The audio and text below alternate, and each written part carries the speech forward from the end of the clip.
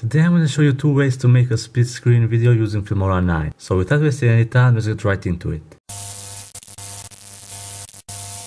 First we're going to do it with these four videos. So let's add the first one down here. Click on it, go to transform and change the scale to 50. Do that and press enter. Now click on the screen and place it top right. After that is done, press OK. Now let's do it with the second clip, drop it on top of that, click on it again and change it to 50. Now stand that top left. Do the same thing for the two others, so let's do it fast. Now let's cut them on 4 seconds so they play at the same time and also end at the same time. So let's remove the other part. And now I'm going to add borders to it so it looks better. To do that, go to sample colors and choose one that you want. I will go with the white one and drop it on top of the videos. Make that the same size, click on the screen, make sure you touch the white part and make it smaller. Let's place it in the middle, copy that again, paste it somewhere else and send that on top.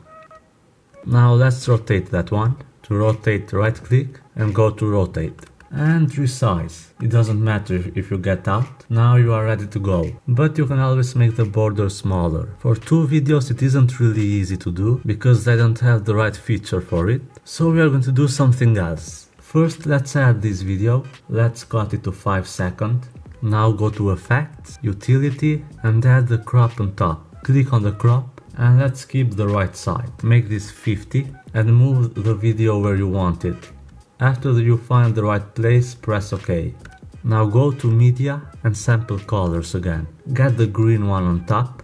Again go to effects and now drop the crop on top of the green one. Click on it, go to the last one, video effects, click that and now make the right part 50. After that press OK. Now we have to export this video.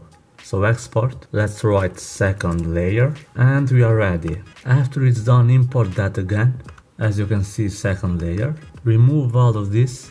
Now let's add this one on the bottom and the one that we exported as a second layer. Let's make it 4 seconds. Now click on the second layer go to chroma key and as you can see you got the split screen. Now you can even move the video around. So for example let's skip this part and put the other one and you are ready to go now. So I hope you enjoyed this video, if you did leave a like and subscribe, make sure to watch my other Filmora tutorials and I will see you on another one, bye.